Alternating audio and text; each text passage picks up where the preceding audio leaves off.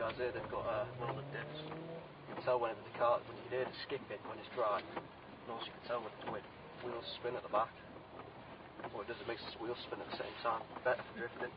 But uh, if you're in a car park when you fly out going slow speed, it's crap. It's not running in a straight line essentially.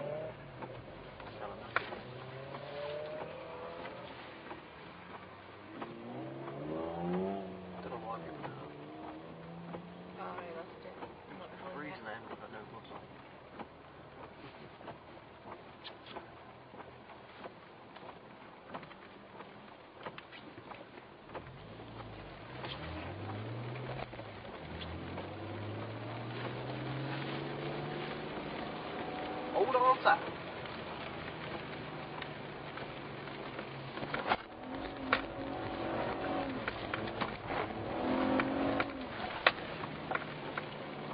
That was a good. You have this ritual of testing all your things.